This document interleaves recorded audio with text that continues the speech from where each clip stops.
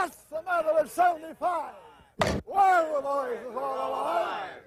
Hey, ho, let's go.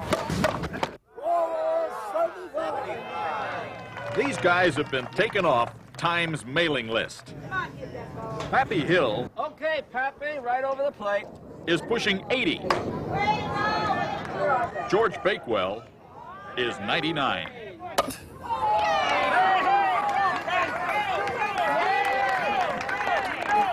Better and better, George.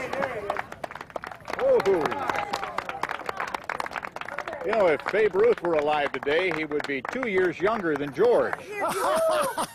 this is Bakewell's 25th season, and he still rarely strikes out. What's this one? Hey, Hi, play ball. Perhaps it's because he recently got married, and he went on his honeymoon in Switzerland, hiking. Let me call you sweetheart,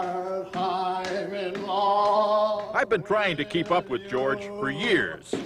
Good morning. Good morning. How are you? Just great. Beautiful day. It is. At 87, he used to jump rope a couple of dozen times a day just to keep his blood pumping. Want to see that little egg? Now, he swings an eight-pound iron bat Keeps the, keeps the shoulders loose. and rides a stationary bike 20 miles. See you later, honey. A fellow like that naturally attracts a following. The kissing bandit, right? Thanks, honey. Some of the new guys would like to be in his cleats, but I don't practice like he does. I smoke 14 cigars a day. fans don't bother his new bride, Bonnie. no, let him have him. I don't care. He's mine. They ain't gonna get him. don't it look great? They got all these bats in the church. She don't know anything about baseball yet. If I if I get that ball, hit that ball toward the pitcher, good in George, good in George, I'll be out for 40 feet. Do you say two to five or five to two? Right, right two. Huh? No matter. Beyond this line is an endless summer. These two teams, the Kids and the Kubs, have stood together three days a week, 60 games a season, for 62 years. Some have been known to circle the bases faster than the scorekeeper could keep score.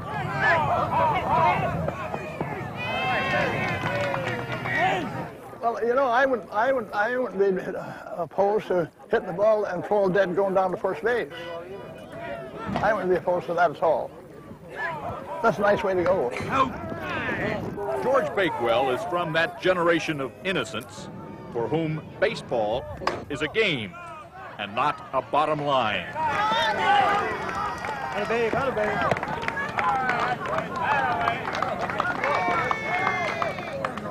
At season's end, he'll turn 100. I've had a wonderful life. For today, Bob Dotson, NBC News, with the Boys of Winter in St. Petersburg, Florida. John Ferguson, age 75.